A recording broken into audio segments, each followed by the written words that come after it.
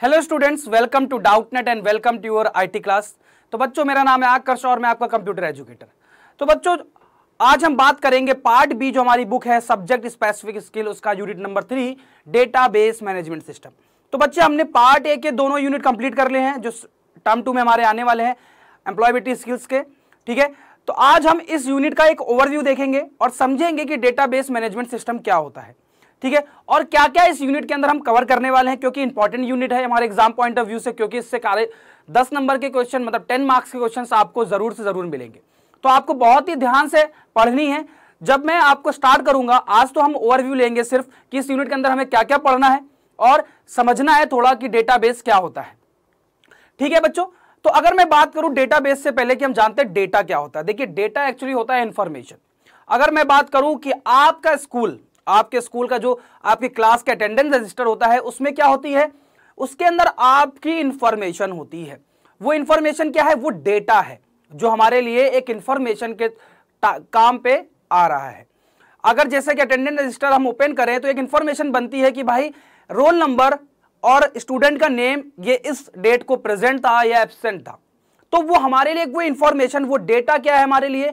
Information है। अब इस डेटा को हम स्टोर कहाँ करते हैं? अब इस डेटा को हम स्टोर करते हैं बेटा डेटाबेस में। तो डेटाबेस एक्चुअली क्या होती है? एक जगह होती है जहाँ पे हम अपने डेटा को स्टोर करके रखते हैं। उसी को हम बोलते हैं database. Database is a collection of data. अगर मैं बात करूँ कि आपके स्कूल का अटेंडेंस रजिस्टर मतलब जो आपके क्लास का अटेंडेंस रजिस्टर है, वो आपका डेटाबेस है, क्योंकि उसके अंदर हमने क्या रखा हुआ है? डेटा कलेक्ट करके रखा हुआ है। क्योंकि बच्चे जो भी स्टूडेंट प्रेजेंट है या एबसेंट है, एक पर्टिकुलर डेट को कि उनका सारा डेटा उस रजिस्टर्ड अटेंडेंस के अंदर मेंटेन करके रखा जा रहा जैसे कि बात करूँ आपकी लाइब्रेरी की तो लाइब्रेरी क्या है? एक डेटाबेस है, क्योंकि लाइब्रेरी के अंदर बच्चे क्या है? बुक्स एक ऑर्डर्ड में रखी है कि भाई इस जगह ये बुक है, इस जगह ये बुक है, ठीक है? तो वो भी एक डेटाबेस है। अगर एग्ज़ाम्पल की बात करूँ, अगर मैं एग्ज़ाम्पल की बात करूँ कि जैसे कभी भी आप कोई फॉर्म फिलअप करते हैं, आपने मान लीजिए कोई एप्लीकेशन डाउनलोड किया और एप्लीकेशन के थ्रू आपने कुछ फॉर्म फिलअप किया जिसमें आपका पर्सनल इंफॉर्मेशन जैसे नेम लास्ट नेम ठीक है? और आपका फ़ोन नंबर आपका एड्रेस तो आप फिल करते हो, वो क्या है? वो आपकी इंफॉर्मेशन है। जब आप उस फॉर्म को सबमिट करते हो तो वो इंफॉर्मेशन जाके कहाँ पे स्टोर होती है? डेटा बेस में स्टोर होती है। ठीक है बच्चे? तो अगर आपसे कोई पूछता है कि डेटाबेस क्या होता है तो database is a collection of data अब बच्चे, वो डेटाबेस जो है उसको मैनेज करने के लिए एक हमारे पास क्या होता है, जिसको हम बोलते हैं डीबीएमएस डेटाबेस मैनेजमेंट सिस्टम जिसे हमें इस यूनिट के अंदर पढ़ना है कि वो जो डेटाबेस है, जहाँ पे आपका डेटा स्टोर करके रखा गया है तो वो डेटा को मैनेज करने के लिए कुछ सॉफ्टवेयर्स होते हैं। तो उन सॉफ्टवेयर्स के बारे में भी पढ़ेंगे हम, ठीक है? कि उन डेटा के अंदर, उस डेटाबेस के अंदर हम डेटा कैसे इंसर्ट करते हैं, यहाँ या वहाँ से डेटा कैसे रिट्रीव करते हैं या फेच करते हैं।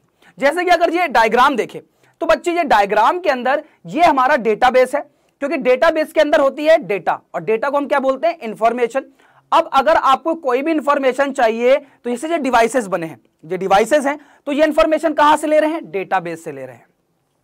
ठीक है? तो आप समझ गए होंगे कि डेटा और डेटाबेस क्या है। और उसी को मैनेज करने के लिए बेटा क्या बोलते हैं? डीबीएमएस बोलते हैं, जिसे हम बोलते हैं डेटाबेस मैनेजमेंट सिस्टम जो कि हमारा एक सॉफ्टवेयर होता है, जिसके थ्रू हम अपने डेटाबेस को मैनेज करते हैं। मैनेज इन दी सेंस कि हम उसके अंदर डेटाबेस को क्रिएट करते हैं, उसके अंदर डेटा इंसर्ट करते हैं, या वहाँ से डेटा रिट्रीव करते हैं।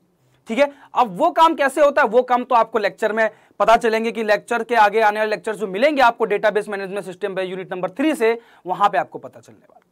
तो बच्चों आई थिंक ये थोड़ा सा कॉन्सेप्ट आपको क्लियर होगा कि इस चैप्टर के अंदर हम करने क्या वाले हैं।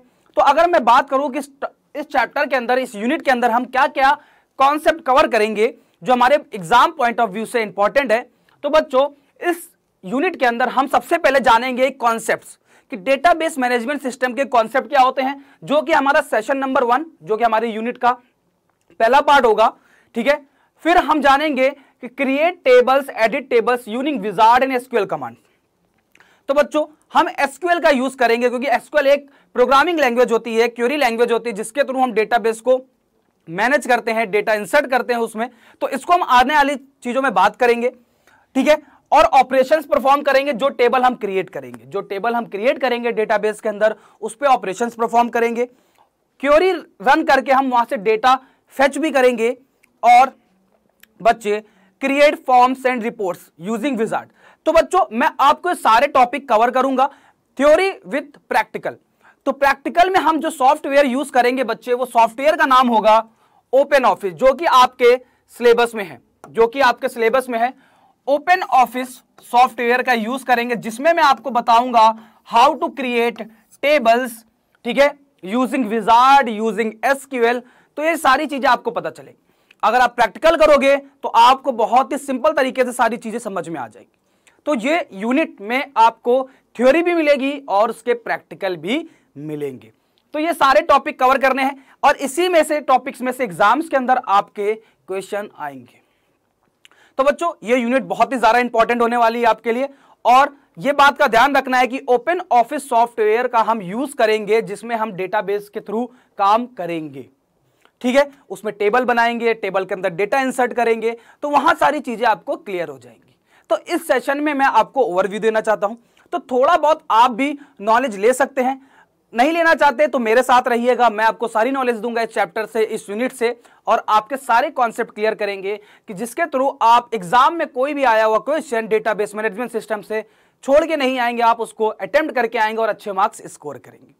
ठीक है स्टूडेंट्स तो आज की ये एक ओवरव्यू था कि भाई हम क्या क्या पढ़ने वाले हैं, हम डेटा के बारे में मेनली पढ़ने वाले हैं डेटाबेस क्या होता है और डेटाबेस मैनेजमेंट सिस्टम क्या होता है। तो ये सारी चीज़ें कवर करेंगे। इनके अंदर कुछ और कॉन्सेप्ट आएँगे, उनको भी समझेंगे, जो कि एग्ज़ाम पॉइंट ऑफ़ व्यू से काफ़ी इंपॉर्टेंट है। ठीक है स्टूडेंट्स तो भाई, अब आने वाली जो लेक्चर्स होंगे, वो आपके unit number third part B के, ठीक है, जो सब्जेक्ट स्पेसिफिक स्किल की यूनिट नंबर थर्ड है डेटाबेस मैनेजमेंट सिस्टम पे, उस पर आपको लेक्चर्स मिलेंगे। और वो लेक्चर्स आपको बिल्कुल परफेक्टली तरीके से तैयार किए जाएँगे कि जिससे कि आपकी प्रिपरेशन बहुत अच्छे से अच्छे हो सके। तो बच्चों, अगर मेरे वीडियोस या लेक्चर्स पसंद आ रहे हैं तो लाइक सब्सक्राइब शेयर करना बिल्कुल ना भूलें। चैनल को सब्सक्राइब कर दे वीडियोस को लाइक करें और शेयर भी करें अपने फ्रेंड सर्कल में कि जो भी स्टूडेंट्स आपके फ्रेंड्स हैं आईटी कोड 402 को तो वो भी इस क्लास को देख के अपनी एग्ज़ाम की प्रिपरेशन अच्छे से कर सकते हैं। ठीक है स्टूडेंट्स तो अगली क्लास में मिलेंगे यूनिट के साथ unit number three database management system के साथ, और आपकी प्रिपरेशन बहुत ही अच्छी तरीके से कराई जाएगी डाउट नेट पे। तो थैंक यू वेरी मच बच्चों। आना ज़रूर है क्लास को लाइक भी करें शेयर करें और सब्सक्राइब करें चैनल को हमारे, कि आपको आई टी की और भी क्लासेस ऐसे आगे मिलते रहें। थैंक यू बच्चों। Bye bye take care